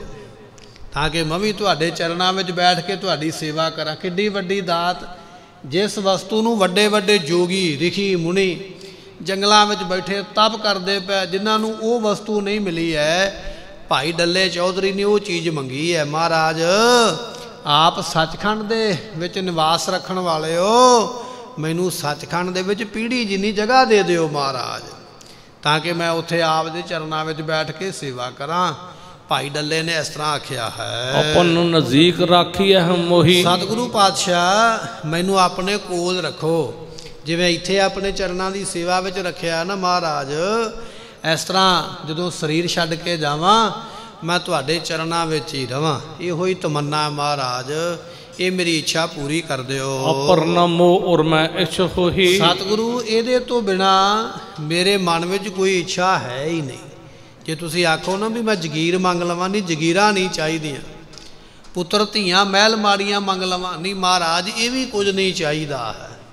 ਲੰਬੀ ਉਮਰਾ ਨਹੀਂ ਮਹਾਰਾਜ ਇਹ ਵੀ ਨਹੀਂ। ਮੇਰੀ ਇੱਛਾ ਕੋਈ ਹੋਰ ਹੈ ਹੀ ਨਹੀਂ ਹੈ। ਕੇਵਲ ਇੱਕੋ ਹੀ ਇੱਛਾ ਹੈ ਵੀ ਆਪ ਆਪਣੇ ਚਰਨਾਂ ਵਿੱਚ ਨਿਵਾਸ ਦੇ ਦਿਓ ਮਹਾਰਾਜ। ਇਹਦੇ ਤੋਂ ਬਿਨਾ ਕੁਝ ਨਹੀਂ ਚਾਹੀਦਾ ਹੈ। ਸੁਨ ਕਰ ਤਿਸਤੇ ਗੁਰੂ ਉਚਾਰੀ। ਸਤਿਗੁਰੂ ਪਾਤਸ਼ਾਹ ਨੇ ਸੁਣਿਆ ਬਚਨ ਭਾਈ ਡੱਲੇ ਚੌਧਰੀ ਦਾ। ਹੁਣ ਬਚਨ ਪਹਿਲਾਂ ਹੀ ਦੇ ਦਿੱਤਾ ਵੀ ਡੱਲਿਆ ਜੋ ਮੰਗੇਗਾ ਉਹ ਦੇਵਾਂਗੇ। ਪਰ ਡੱਲੇ ਨੇ ਵਸਤੂ ਹੀ ਉਹ ਮੰਗ ਲਈ ਹੈ ਜਿਹੜੀ ਬੜੀ ਅਦੇਹ ਹੈ ਦੇਣੀ ਸੌਖੀ ਨਹੀਂ ਹੈ। ਮਹਾਰਾਜ ਸੁਣ ਕੇ ਉਸ ਵੇਲੇ ਕਹਿਣ ਲੱਗੇ ਹਨ। ਅੰਮ੍ਰਿਤ ਲਿਓ ਖੰਡੇ ਕਹੋ ਧਾਰੀ। ਸਤਿਗੁਰੂ ਪਾਤਸ਼ਾਹ ਕਹਿਣ ਲੱਗੇ ਭਾਈ ਡੱਲਿਆ ਜੇ ਸੱਚਖੰਡ ਵਿੱਚ ਜਗ੍ਹਾ ਚਾਹੁੰਦਾ ਹੈ ਨਾ ਫਿਰ ਤੈਨੂੰ ਇਹ ਕੰਮ ਕਰਨਾ ਪਵੇਗਾ। ਡੱਲੇ ਨੇ ਹੱਥ ਜੋੜ ਕੇ ਆਖਿਆ ਮਹਾਰਾਜ ਹੁਕਮ ਫਰਮਾਓ। ਮਹਾਰਾਜ ਕਹਿੰਦੇ ਭਾਈ ਡੱਲਿਆ ਅੰਮ੍ਰਿਤ ਛਕ ਭਾਈ ਡੱਲ ਸਿੰਘ ਬਣ ਜਾ ਫਿਰ। ਜੇ ਅੰਮ੍ਰਿਤ ਛਕੇਗਾ ਤੈਨੂੰ ਸੱਚਖੰਡ ਵਿੱਚ ਜਗ੍ਹਾ ਦੇ ਦੇਾਂਗੇ ਇਹ ਸਾਡਾ ਬਚਨ ਹੈ। ਮਹਾਰਾਜ ਨੇ ਆਖਿਆ ਹੈ ਡੱਲੇ ਤੇ ਡਲ ਸਿੰਘ ਕਹਾਵੋ। ਮਹਾਰਾਜ ਕਹਿੰਦੇ ਹੁਣ ਤੈਨੂੰ ਲੋਕ ਆਖਦੇ ਡੱਲਾ ਚੌਧਰੀ। ਡੱਲੇ ਚੌਧਰੀ ਤੋਂ ਭਾਈ ਡੱਲ ਸਿੰਘ ਬਣ ਜਾ। ਅੰਮ੍ਰਿਤ ਛਕ ਸਿੰਘ ਸ਼ਬਦ ਮਿਲੇਗਾ ਨਾ ਇਹ ਚੌਧਰੀ ਹੈ ਇਹ ਖਾਨ ਹੈ ਇਹ ਪਠਾਨ ਹੈ ਇਹ ਰਾਜਪੂਤ ਹੈ ਇਹ ਫਲਾਣਾ ਹੈ ਇਹ ਸਭ ਕੁਝ ਲੈ ਜਾਏਗਾ ਨਾਮ ਦੇ ਨਾਲੋਂ। ਕੱਲਾ ਸਿੰਘ ਸ਼ਬਦ ਹੀ ਲੱਗ ਜਾਏਗਾ। ਮਹਾਰਾਜ ਕਹਿੰਦੇ ਅੰਮ੍ਰਿਤ ਛਕ। ਡੱਲੇ ਚੌਧਰੀ ਤੋਂ ਡੱਲ ਸਿੰਘ ਬਣ ਜਾ। ਅੰਮ੍ਰਿਤ ਛਕ ਲਾ ਤੇਰੀ ਇੱਛਾ ਅਸੀਂ ਪੂਰੀ ਕਰ ਦਿੰਦੇ ਹਾਂ। ਪੁਨ ਗੁਰ ਘਰ ਕੋ ਸਿਦਕ ਕਮਾਵੋ। ਫਿਰ ਅੰਮ੍ਰਿਤ ਛਕ ਸਿੱਖ ਸਿਦਕ ਵਾਲਾ ਬੰਨਾ ਹੈ। ਕੱਲਾ ਇਹ ਨਹੀਂ ਹੈ ਵੀ ਅੰਮ੍ਰਿਤ ਛਕ ਲਿਆ ਤੇ ਬਸ ਹੁਣ ਦੁਨੀਆ ਨਾਲ ਠੱਗੀ ਮਾਰਦਾ ਰਵੇ। ਮੈਂ ਤੇ ਵੇਖੋ ਜੀ ਅੰਮ੍ਰਿਤਧਾਰੀ ਹਾਂ ਤੇ ਸਾਰੀ ਦੁਨੀਆ ਦੇ ਪਾਪ ਆਪ ਕਰੇ ਤੇ ਫਿਰ ਤੇਰੇ ਅੰਮ੍ਰਿਤ ਛਕਣ ਦਾ। ਕਈ ਤੇ ਕੇਵਲ ਲਾਇਸੈਂਸ ਲੈ ਲੈਂਦੇ ਵੀ ਬਸ ਅੰਮ੍ਰਿਤ ਛਕ ਲਿਆ ਹੁਣ ਮੈਂ ਪਾਪ ਕਰੀ ਜਾਵਾਂ ਮੈਨੂੰ ਹੁਣ ਕੁਝ ਨਹੀਂ ਹੋਣਾ ਹੈ। ਜਾਂ ਲੋਕ ਮੇਰੇ ਤੇ ਹੁਣ ਇਤਬਾਰ ਕਰ ਲੈਣਗੇ, ਹੁਣ ਮੈਂ ਜੋ ਮਰਜ਼ੀ ਕਰਾਂ ਤੇ ਮੇਰਾ ਕੀ ਵਿਗੜ ਜਾਣਾ ਹੈ? ਨਹੀਂ, ਮਹਾਰਾਜ ਕਹਿੰਦੇ ਅੰਮ੍ਰਿਤ ਛਕਣਾ ਜ਼ਰੂਰੀ ਹੈ, ਉਹਦੇ ਨਾਲ ਨਾਲ ਸਿਦਕ ਕਮਾਉਣਾ ਵੀ ਜ਼ਰੂਰੀ ਹੈ। ਤੇਰਾ ਜੀਵਨ ਇਹੋ ਜਿਹਾ ਹੋਵੇ, ਤੂੰ ਕਿਸੇ ਨਾਲ ਵਲ, ਛਾਲ, ਧੋਖਾ, ਠੱਗੀ, ਬੇਈਮਾਨੀ ਕੋ ਕਰਮ ਇਹ ਕੁਝ ਨਾ ਕਰੇ, ਫੇਰ ਹੈ ਲਾਭ। ਤੇ ਜੇ ਕੱਲਾ ਅੰਮ੍ਰਿਤ ਹੀ ਛਕਿਆ, ਨਾ ਅੰਮ੍ਰਿਤ ਵੇਲੇ ਉੱਠਣਾ, ਨਾ ਇਸ਼ਨਾਨ ਕਰਨਾ ਨਾ ਨਿਤਨੇਮ ਕਰਨਾ, ਨਾ ਦਸਾਂ ਨੋਵਾਂ ਦੀ ਕਿਰਤ ਕਰਨੀ, ਚੋਰੀ ਜਾਰੀ ਠੱਗੀ ਨੂੰ ਛੱਡਣਾ ਹੀ ਨਹੀਂ, ਤੇ ਫਿਰ ਤੇਰੇ ਅੰਮ੍ਰਿਤ ਛਕਣ ਦਾ ਕੀ ਲਾਭ ਹੋਇਆ? ਫਿਰ ਤੇ ਕੇਵਲ ਨਾਮ ਧਰੀਕ ਹੀ ਸਿੱਖ ਹੋਇਆ ਨਾ। ਇਸ ਕਰਕੇ ਅੰਮ੍ਰਿਤ ਛਕਣ ਦਾ ਲਾਭ ਇਹ ਹੈ ਕਿ ਦਸਾਂ ਨੋਵਾਂ ਦੀ ਕਿਰਤ ਕਰਦਿਆਂ ਚੋਰੀ ਯਾਰੀ ਠੱਗੀ, ਬੇਈਮਾਨੀ, ਕੁਕਰਮ ਛੱਡਣਾ ਪਵੇਗਾ। ਅੰਮ੍ਰਿਤ ਵੇਲੇ ਦਾ ਉੱਠਣਾ ਪ੍ਰਾਪਤ ਹੋਵੇਗਾ। ਅੰਮ੍ਰਿਤ ਵੇਲੇ ਦਾ ਨਿਤਨੇਮ ਹੋਵੇਗਾ ਤੇ ਗੁਰੂ ਪਾਤਸ਼ਾਹ ਦੀ ਭੈ ਭਾਵਨੀ ਹੋਵੇਗੀ। ਸੰਤੋਖ ਰੱਖਣਾ ਪਵੇਗਾ ਫਿਰ ਲਾਭ ਹੈ ਗੁਰੂ ਵਾਲਾ ਬਣਨ ਦਾ। ਤੇ ਜੇ ਗੁਣ ਕੋਈ ਧਾਰਿਆ ਹੀ ਨਹੀਂ ਕੇਵਲ ਆਖਿਆ ਵੀ ਆਪਾਂ ਕਿਰਪਾਨ ਪਾ ਲਈ ਹੈ ਤੇ ਸਾਰੀ ਦੁਨੀਆ ਦੀ ਬੇਈਮਾਨੀ ਹੁਣ ਮੇਰੇ ਵਿੱਚ ਆ ਗਈ ਹੈ ਫਿਰ ਤੇਰਾ ਕੋਈ ਲਾਭ ਨਹੀਂ ਹੈ। ਸੋ ਸਤਿਗੁਰੂ ਵੀ ਇੱਥੇ ਆਖਦੇ ਪਏ ਕਹਿੰਦੇ ਭਾਈ ਅੰਮ੍ਰਿਤ ਛਕ ਕੇ ਗੁਰੂ ਘਰ ਦਾ ਸਿੱਧਕੀ ਸਿੱਖ ਬਣ ਜਾ। ਭਾਈ ਡੱਲੇ ਤੈਨੂੰ ਸੱਚਖੰਡ ਵਿੱਚ ਜਗ੍ਹਾ ਦਿੰਦੇ ਹਾਂ। ਪੁਨ ਕਰ ਜ਼ੋਰ ਕਹਿਓ ਹਿਤ ਦੇ ਚਿਤ। ਵੇਲੇ ਭਾਈ ਡੱਲੇ ਨੇ ਫਿਰ ਹੱਥ ਜੋੜਿਆ। ਕਹਿਣ ਲੱਗਾ ਮਹਾਰਾਜ ਇਹਦੇ ਵਿੱਚ ਵੀ ਇੱਕ ਬੇਨਤੀ ਹੈ। ਮੇਰੀ ਨਿੱਕੀ ਜੀ ਆਪ ਜੀ ਦੇ ਚਰਨਾਂ ਵਿੱਚ ਫਿਰ ਕਹਿਣ ਲੱਗਾ ਹੈ ਮੈਂ ਤੋ ਬਹੁਤ ਸ਼ਕਿਓ ਹੈ ਅੰਮ੍ਰਿਤ। ਮਹਾਰਾਜ ਇੱਕ ਵਾਰੀ ਮੈਂ ਤੇ ਬੜੀ ਵਾਰੀ ਅੰਮ੍ਰਿਤ ਛਕਿਆ ਹੈ। ਸਾਡੇ ਵਿੱਚ ਵੀ ਕਈ ਇਹੋ ਜਿਹੇ ਬੈਠੇ ਹੋਣਗੇ। ਉਹ ਕਹਿੰਦੇ ਵੀ ਸਾਨੂੰ ਵੀ ਲੋੜ ਨਹੀਂ ਹੈ। ਭਾਈ ਡੱਲਾ ਵੀ ਕਹਿੰਦਾ ਕਹਿੰਦਾ ਪਾਤਸ਼ਾਹ ਤੁਸੀਂ ਤੇ ਇੱਕ ਵਾਰੀ ਛਕਾਉਂਦੇ ਮੈਂ ਤੇ ਕਈ ਵਾਰੀ ਛਕ ਲਿਆ। ਮਹਾਰਾਜ ਸੁਣ ਕੇ ਹੈਰਾਨ ਹੋ ਗਿਆ ਵੀ ਇਹੋ ਜਿਹਾ ਕਿਹੜਾ ਤੂੰ ਆਪਣੇ ਘਰ ਵਿੱਚ ਅੰਮ੍ਰਿਤ ਦਾ ਖੂਹ ਲਾਇਆ ਵੀ ਰੋਜ਼ ਹੀ ਛਕ ਲੈਣਾ ਤੂੰ ਕਿਹੜਾ ਛਕਿਆ? ਤੂੰ ਜਿਹੜਾ ਕਹਿੰਦਾ ਵੀ ਰੋਜ਼ ਛਕ ਲੈਂਦਾ। ਹਾਂ ਅਸੀਂ ਤੇ ਇੱਕ ਵਾਰੀ ਛਕਣ ਦੀ ਗੱਲ ਕੀਤੀ ਹੈ। ਪੰਜ ਪਿਆਰੇ ਸਹਿਬਾਨ ਛਕਾਉਂਦੇ ਮਹਾਰਾਜ ਦੀ ਹਜ਼ੂਰੀ ਹੁਕਮ ਦੇ ਅੰਦਰ। ਇਹ ਕਹਿੰਦਾ ਵੀ ਰੋਜ਼ ਹੀ ਮਹਾਰਾਜ ਮੈਂ ਛਕਦਾ। ਸਤਿਗੁਰੂ ਪਾਤਸ਼ਾਹ ਮਹਾਰਾਜ ਸਾਹਿਬ ਜੀਆਂ ਦੇ ਕੋਲ ਮਾਲਵੇ ਦੇ ਸਿੱਖ ਨੇ ਆਖਿਆ ਸੀ ਨਾ, ਭਾਈ ਦਾਨ ਸਿੰਘ ਨੇ। ਮਹਾਰਾਜ ਕਹਿੰਦੇ, ਦਾਨ ਸਿੰਘ, ਅੰਮ੍ਰਿਤ ਛਕ ਲਾ। ਤੇ ਦਾਨ ਸਿੰਘ ਕਹਿੰਦਾ, ਮਹਾਰਾਜ ਵੀ ਅੰਮ੍ਰਿਤ ਛਕ ਕੇ ਫਿਰ ਕੀ ਹੋਵੇਗਾ? ਮਹਾਰਾਜ ਕਹਿੰਦੇ ਕੇਸ ਰੱਖ ਲਾ ਭਾਈ। ਇਹਦੇ ਸਿਰ ਦੇ ਕੇਸ ਨਹੀਂ ਸਨ, ਕੇਸ ਕੱਟਦਾ ਸੀਗਾ। ਪਾਤਸ਼ਾਹ ਜੇ ਮੈਂ ਕੇਸ ਰੱਖ ਲਿਆ ਫਿਰ ਕੀ ਹੋਵੇਗਾ? ਮਹਾਰਾਜ ਕਹਿੰਦੇ ਕੇਸ ਸਾਡੀ ਨਿਸ਼ਾਨੀ ਹੈ। ਜੇ ਤੇਰੇ ਕੋਲੋਂ ਕਿਤੇ ਗਲਤੀ ਹੋ ਵੀ ਗਈ, ਤੂੰ ਕਿਤੇ ਨਰਕਾਂ ਵਿੱਚ ਪੈ ਵੀ ਗਿਆ, ਦਾਨ ਸਿਆਂ ਕੇਸਾਂ ਤੋਂ ਪਛਾਣ ਕੇ ਤੈਨੂੰ ਬਾਹਰ ਕੱਢਾਂਗੇ। ਦਾਨ ਸਿੰਘ ਨੇ ਸੁਣਿਆ ਬਚਨ ਤੇ ਆਪਣਾ ਦਾੜਾ ਆਪਣੇ ਹੱਥ ਵਿੱਚ ਫੜ ਲਿਆ। ਕਹਿੰਦਾ, ਮਹਾਰਾਜ, ਜ਼ਰੂਰੀ ਸਿਰ ਦੇ ਕੇਸਾਂ ਦੀ ਪਛਾਣ ਕਰਨੀ ਆ, ਦਾੜੇ ਦੀ ਕਰ ਲਿਓ ਪਛਾਣ ਤੇ ਦਾੜੇ ਤੋਂ ਫੜ ਲਿਓ। ਇਥੋਂ ਬਾਹਰ ਕੱਢ ਦਿਓ, ਜ਼ਰੂਰ ਸਿਰ ਦੇ ਹੀ ਕੇਸ ਰਖਾਉਣੇ। ਮਹਾਰਾਜ ਹੱਸ ਪੈ ਕਹਿਣ ਲੱਗੇ, ਬੜਾ ਭੋਲਾ ਹੈ ਦਾਨ ਸਿਆ ਇਹ ਦਾੜੇ ਦੇ ਕੇਸ ਵੀ ਰੱਖਣੇ ਪੈਣਗੇ ਤੇ ਸਿਰ ਵਾਲੇ ਵੀ ਰੱਖਣੇ ਪੈਣਗੇ। ਕੇਸ ਨਹੀਂ ਕਟਾਵੇਂਗਾ ਅੰਮ੍ਰਿਤ ਧਾਰੀ ਹੋਵੇਂਗਾ, ਤਾਂ ਤੈਨੂੰ ਭਾਈ ਅਸੀਂ ਰੱਖਾਂਗੇ। ਇਸ ਤਰ੍ਹਾਂ ਨਹੀਂ ਹੈ ਵੀ ਗੁਰੂ ਦੇ ਅੱਗੇ ਚਲਾਕੀ ਨਹੀਂ ਕਰਨੀ ਕਿਸੇ ਤਰ੍ਹਾਂ ਦੀ। ਇਹ ਭਾਈ ਡੱਲਾ ਵੀ ਕਹਿੰਦਾ ਕਹਿੰਦਾ ਮਹਾਰਾਜ ਤੁਸੀਂ ਇੱਕ ਵਾਰੀ ਕਹਿੰਦੇ ਹੋ ਮੈਂ ਤੇ ਬੜੀ ਵਾਰੀ ਅੰਮ੍ਰਿਤ ਛਕ ਲਿਆ ਹੈ। ਇਸ ਤਰ੍ਹਾਂ ਇਸ ਨੇ ਬਹਾਨਾ ਲਾਇਆ ਹੈ। ਗੁਰ ਬੋਲੇ ਕਬ ਕਿਸ ਤੇ ਛਕਿਓ? ਸਤਿਗੁਰੂ ਪਾਤਸ਼ਾਹ ਸੁਣ ਕੇ ਹੈਰਾਨ ਹੋ ਗਏ ਅੰਮ੍ਰਿਤ ਇੱਕ ਵਾਰੀ ਛਕਾਈਦਾ। ਇਹ ਕਹਿੰਦਾ ਵੀ ਬੜੀ ਵਾਰੀ ਛਕ ਲਿਆ। ਪਾਤਸ਼ਾਹ ਕਹਿੰਦੇ ਫਿਰ ਡੱਲਿਆ ਇਹ ਦੱਸ ਜੋ ਤੂੰ ਕਹਿੰਦਾ ਮੈਂ ਬੜੀ ਵਾਰੀ ਛਕਿਆ ਹੈ ਤੂੰ ਇਹ ਦੱਸ ਵੀ ਛਕਿਆ ਕਿਹਦੇ ਕੋਲੋਂ ਹੈ? ਉਹ ਬੰਦਾ ਵੀ ਸਾਡੇ ਕੋਲ ਲਿਆ ਜਿਹੜਾ ਤੈਨੂੰ ਰੋਜ਼ ਹੀ ਛਕਾ ਦਿੰਦਾ।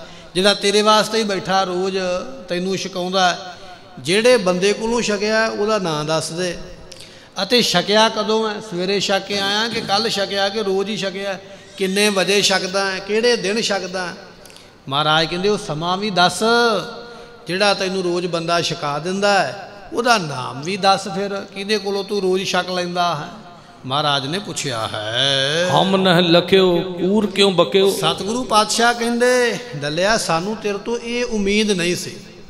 ਤੂੰ ਤੇ ਸਾਡੇ ਸਾਹਮਣੇ ਝੂਠ ਬੋਲਿਆ ਕੋਈ ਸਿੱਖ ਅੰਮ੍ਰਿਤ ਛਕੇ ਤੇ ਪੰਜ ਪਿਆਰੇ ਸਹਿਬਾਨ ਗੁਰੂ ਅੱਗੇ ਅਰਦਾਸ ਕਰਦੇ। ਤੇ ਅਰਦਾਸ ਵਿੱਚ ਤੇਰਾ ਤੇ ਜ਼ਿਕਰ ਹੀ ਨਹੀਂ ਕਿਤੇ ਆਇਆ। ਸਾਨੂੰ ਨਹੀਂ ਪਤਾ ਵੀ ਤੂੰ ਕਦੋਂ ਛਕਿਆ ਤੂੰ ਤੇ ਛਕਿਆ ਹੀ ਨਹੀਂ ਅੰਮ੍ਰਿਤ। ਤੇਰਾ ਤੇ ਜ਼ਿਕਰ ਹੀ ਨਹੀਂ ਅੰਮ੍ਰਿਤ ਛਕਣ ਵਾਲਿਆਂ ਵਿੱਚ। ਤੂੰ ਝੂਠ ਕਿਉਂ ਬੋਲਿਆ ਹੈ?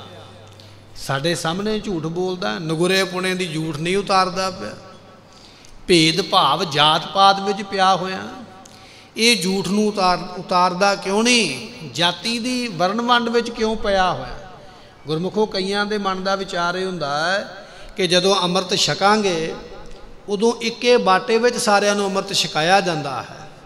ਉਦੋਂ ਇਹ ਨਹੀਂ ਪੁੱਛਿਆ ਜਾਂਦਾ ਵੀ ਤੇਰੀ ਜਾਤ ਕੀ ਹੈ? ਜਿਨ੍ਹਾਂ ਨੇ ਅੰਮ੍ਰਿਤ ਛਕਿਆ ਨਾ ਪੰਜਾਂ ਪਿਆਰਿਆਂ ਦੇ ਕੋਲੋਂ ਉਹਨਾਂ ਨੂੰ ਇਹ ਪਤਾ ਹੋਵੇਗਾ ਵੀ ਇੱਕੇ ਬਾਟੇ ਵਿੱਚ ਅੰਮ੍ਰਿਤ ਪਾ ਕੇ ਤੇ ਉਹੀ ਬਾਟਾ ਸਾਰਿਆਂ ਦੇ ਮੂੰਹ ਨੂੰ ਲਵਾਇਆ ਜਾਂਦਾ ਵਾਰੀ-ਵਾਰੀ। ਉਹਦਾ ਭਾਵ ਇਹ ਹੈ ਵੀ ਤੁਹਾਡਾ ਅੱਜ ਤੋਂ ਜਾਤ ਪਾਤ ਦੀ ਝੂਠ ਉਤਰ ਗਈ ਹੈ, ਤੁਸੀਂ ਸਾਰੇ ਇੱਕੋ ਹੀ ਹੋ ਗਏ ਹੋ। ਗੁਰੂ ਦੇ ਪੁੱਤਰ ਬਣ ਗਏ ਹੋ, ਇਹ ਜਾਤ ਪਾਤ ਦੀ ਮੈਲ ਉਤਰ ਗਈ ਹੈ। ਇਹ ਸਿੱਖਿਆ, ਇਹ ਉਪਦੇਸ਼ ਗੁਰੂ ਪਾਤਸ਼ਾਹ ਨੇ ਸਾਨੂੰ ਦ੍ਰਿੜ ਕਰਵਾਇਆ ਹੈ ਵੀ ਜਾਤ ਪਾਤ ਨਹੀਂ ਮੰਨਣੀ ਹੈ ਔਰ ਸਭ ਤੋਂ ਘੱਟ ਜਾਤ ਪਾਤ ਦਾ ਜਿਹੜਾ ਵੰਡ ਵਿਰਤਕਾ ਹੈ ਨਾ, ਇਹ ਪੰਜਾਬ ਦੇ ਵਿੱਚ ਹੀ ਮੰਨਿਆ ਜਾਂਦਾ। ਪੰਜਾਬ ਦੇ ਵਿੱਚ ਇੰਨਾ ਵਿਤਕਰਾ ਨਹੀਂ ਕਿਸੇ ਨਾਲ ਕੀਤਾ ਜਾਂਦਾ ਜਾਤ ਪਾਤ ਦਾ। ਪੰਜਾਬ ਤੋਂ ਬਾਹਰ ਚਲੇ ਜਾਈਏ, ਹੋਰਾਂ ਥਾਵਾਂ ਤੇ, ਉਥੇ ਇਹ ਜਾਤ ਪਾਤ ਨੂੰ ਬਹੁਤਾ ਮੰਨਿਆ ਜਾਂਦਾ। ਇਹ ਸ਼ੂਦਰ ਹੈ, ਐਸੇ ਤਰ੍ਹਾਂ ਇਹ ਵੈਸ਼ ਹੈ, ਇਹ ਬ੍ਰਾਹਮਣ ਹੈ, ਇਹ ਫਲਾਣੀ ਜਾਤ ਨਾਲ ਸੰਬੰਧ ਰੱਖਦਾ। ਬਹੁਤਾ ਉਥੇ ਇਸ ਗੱਲ ਦਾ ਪ੍ਰਚਾਰ ਹੁੰਦਾ। ਗੁਰਮਤ ਵਿੱਚ ਗੁਰੂ ਘਰ ਵਿੱਚ ਔਰ ਗੁਰੂ ਦੀ ਇਹ ਜਿਹੜੀ ਸਾਨੂੰ ਧਰਤੀ ਬਖਸ਼ਿਸ਼ ਕੀਤੀ ਹੈ ਨਾ ਜਿਸ ਨੂੰ ਆਪਾਂ ਪੰਜਾਬ ਕਹਿ ਦਿੰਦੇ ਹਾਂ ਇੱਥੇ ਇਸ ਚੀਜ਼ ਦਾ ਬਿਲਕੁਲ ਵੀ ਕਿਤੇ ਵਰਣਨ ਨਹੀਂ ਹੈ। ਹਾਂ ਥੋੜਾ ਬਹੁਤਾ ਕਿਤੇ ਹੋਵੇ ਤੇ ਵੱਖਰੀ ਗੱਲ ਹੈ ਪਰ ਬਹੁਤਾ ਨਹੀਂ। ਇਹ ਗੁਰੂ ਪਾਤਸ਼ਾਹ ਨੇ ਸਾਨੂੰ ਇਸ ਚੀਜ਼ ਤੋਂ ਪਰੇ ਕੱਢਿਆ। ਹੈ ਮਾਨਸ ਕੀ ਜਾਤ ਸਭ ਸਭ ਇੱਕ ਹੈ ਇੱਕ ਹੈ ਪਹਿਚਾਨ ਬੋ ਇਹ ਮਹਾਰਾਜ ਨੇ ਸਾਨੂੰ ਬਚਨ ਸਮਝਾਇਆ ਹੈ ਪਰ ਕੋਈ ਸਾਡੀ ਕੌਮ ਨੂੰ ਬਦਨਾਮ ਕਰੇ, ਵੀ ਇੱਥੇ ਜਾਤ ਪਾਤ ਦਾ ਬੜਾ ਫ਼ਰਕ ਹੈ, ਇਹ ਗੱਲ ਮਾੜੀ ਹੈ। ਗੁਰਮੁਖੋ ਪਿੱਛੇ ਜੇ ਕਲਾਕਾਰ ਮਰਿਆ, ਗੰਦੇ ਮੰਦੇ ਗੀਤ ਗਾਉਂਦਾ ਹੈ, ਉਹਦੇ ਨਾਮ ਤੇ ਇੱਕ ਫਿਲਮ ਬਣੀ ਹੁਣ ਅੱਜ ਕੱਲ ਆਮ ਚੱਲਦੀ ਪਈ ਹੈ। ਉਹਦਾ ਪ੍ਰਚਾਰ ਇਹ ਕੀਤਾ ਜਾ ਰਿਹਾ ਹੈ ਵੀ ਉਹ ਇੱਕ ਨੀਵੀਂ ਜਾਤ ਨਾਲ ਸੰਬੰਧ ਰੱਖਦਾ ਸੀ, ਉਹਨੂੰ ਤਾਂ ਮਾਰਿਆ ਗਿਆ। ਨੀਵੀਂ ਜਾਤ ਦੇ ਸੰਬੰਧ ਦੀ ਗੱਲ ਨਹੀਂ ਹੈ। ਕਲਾਕਾਰ ਤੇ ਉਦੋਂ ਹੋਰ ਵੀ ਬੜੇ ਗਾਉਂਦੇ ਸਨ, ਜਿਨ੍ਹਾਂ ਦੀ ਜਾਤ ਉਹਦੇ ਨਾਲ ਹੀ ਰਲਦੀ ਮਿਲਦੀ ਹੈ ਗੱਲ ਜਾਤ ਕਰਕੇ ਨਹੀਂ, ਮਰਿਆ ਤੇ ਇਸ ਕਰਕੇ ਆ ਵੀ ਉਹਨੇ ਉਹ ਗੰਦੇ ਗਾਣੇ ਗਾਏ ਜਿਹੜੇ ਨਹੀਂ ਗਾਉਣੇ ਚਾਹੀਦੇ। ਸਮਝਾਇਆ ਵੀ ਗਿਆ ਵੀ ਇਹ ਕੰਮ ਨਾ ਕਰ, ਚੰਗੇ ਗੀਤ ਗਾਇਆ ਕਰ, ਧੀਆਂ ਭੈਣਾਂ ਦੀ ਇੱਜ਼ਤ ਵਾਲੇ ਮਾੜੇ ਨਹੀਂ ਗਾਉਣੇ ਚਾਹੀਦੇ। ਸਟੇਜਾਂ ਤੇ ਖੜ ਖੜ ਕੇ ਪਿਸਤੌਲ ਵਿਖਾਉਣਾ, ਮੀਡੀਆ ਵਿੱਚ ਬਿਆਨ ਦੇ ਦੇਣੇ, ਮੈਂ ਤੇ ਖਾੜਕੂ ਸਿੰਘਾਂ ਨੂੰ ਪੈਸੇ ਦਿੱਤੇ ਨੇ, ਉਹ ਨਹੀਂ ਹੁਣ ਮੇਰੇ ਸਾਹਮਣੇ ਬੋਲਣਗੇ। ਜਦੋਂ ਇਹੋ ਜਿਹੇ ਦੂਸ਼ਣ ਲਾਓਗੇ ਤੇ ਪਿਸਤੌਲ ਵਿਖਾ ਕੇ ਆਪਣੀ ਜਿਹੜੀ ਆ ਹਿੰਡ ਪਗਾਓਗੇ ਵੀ ਮੈਂ ਨਹੀਂ ਡਰਦਾ। ਤੇ ਫਿਰ ਗੁਰੂ ਦਿਆਂ ਸਿੰਘਾਂ ਨੇ ਫਿਰ ਸੋਧਾ ਵੀ ਤੇ ਲਾ ਦੇਣਾ ਨਾ। ਸੋਧਾ ਲੱਗਾ ਕਰਤੂਤਾਂ ਤੋਂ, ਪਰ ਅੱਜ ਉਹ ਮੀਡੀਆ ਪ੍ਰਚਾਰ ਹੀ ਕਰਦਾ ਪਿਆ ਉਹਨੂੰ ਜਾਤ ਕਰਕੇ ਮਾਰਿਆ ਗਿਆ ਹੈ। ਜਾਤ ਕਰਕੇ ਨਹੀਂ, ਕਰਤੂਤ ਕਰਕੇ। ਗੁਰੂ ਦੀ ਇਸ ਧਰਤੀ ਦੇ ਉੱਪਰ ਐਵੇਂ ਕੋਈ ਬਾਹਰੋਂ ਆ ਕੇ ਇਲਜ਼ਾਮ ਲਾਈ ਜਾਵੇ, ਇਹ ਗੱਲ ਬਿਲਕੁਲ ਮਾੜੀ ਹੈ। ਇਸ ਤਰ੍ਹਾਂ ਦਾ ਇਹ ਦੂਸ਼ਣਬਾਜੀ ਵਾਲਾ ਕੰਮ ਨਹੀਂ ਕਰਨਾ ਚਾਹੀਦਾ ਹੈ। ਪਾਤਸ਼ਾਹ ਨੇ ਇਹ ਚੀਜ਼ਾਂ ਮਟਾਈਆਂ ਸਾਡੇ ਅੰਦਰੋਂ। ਵਿਚਾਰ ਇਹ ਹੈ ਮਹਾਰਾਜ ਕਹਿੰਦੇ ਭਾਈ ਡੱਲਿਆ ਜਿਹਦੇ ਕੋਲੋਂ ਛਕਿਆ ਹੈ ਨਾ ਉਹਦਾ ਵੀ ਨਾਮ ਦੱਸ ਦੇ। ਤੇ ਜਿੱਥੇ ਬੈਠ ਕੇ ਛਕਿਆ ਉਹ ਵੀ ਜਗ੍ਹਾ ਦੱਸ। ਤੇ ਕਿਹੜੇ ਦਿਨ ਛਕਿਆ ਉਹ ਵੀ ਸਾਨੂੰ ਦੱਸਣਾ ਕਰ।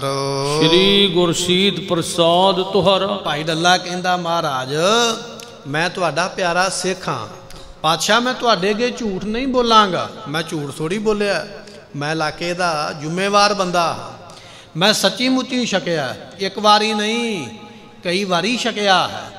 ਮਹਾਰਾਜ ਦਾ ਬਚਨ ਸੁਣ ਕੇ ਹੈਰਾਨ ਹੋ ਜਾਂਦੇ। ਅਸੀਂ ਇੱਕ ਵਾਰ ਛਕਣ ਦੀ ਗੱਲ ਆਖਦੇ ਕਹਿੰਦਾ, ਕਈ ਵਾਰੀ ਛਕਿਆ। ਧੰਨ ਗਰੀਬ ਨਵਾਜ ਮਹਾਰਾਜ ਸਾਹਿਬ ਜੀ, ਇਸ ਡੱਲੇ ਤੋਂ ਫਿਰ ਕਿਵੇਂ ਪੁੱਛਦੇ ਨੇ? ਤੇ ਡੱਲਾ ਕਈ ਵਾਰ ਛਕਣ ਦੀ ਫਿਰ ਅੱਗੋਂ ਕੀ ਕਹਾਣੀ ਸੁਣਾਉਂਦਾ ਹੈ? ਉਹ ਆਪਾਂ ਕੱਲ ਨੂੰ ਬਚਨ ਸਰਵਣ ਕਰਾਂਗੇ।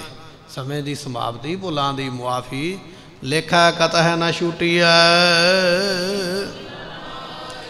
ਬਖਸ਼ਨ ਹਾਰ ਬਖਸ਼ ਲੈ, ਨਾਨਕ ਪਾਰ ਉਤਾਰ।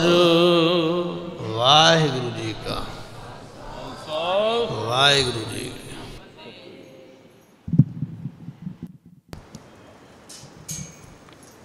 ਸਤਨਾਮ।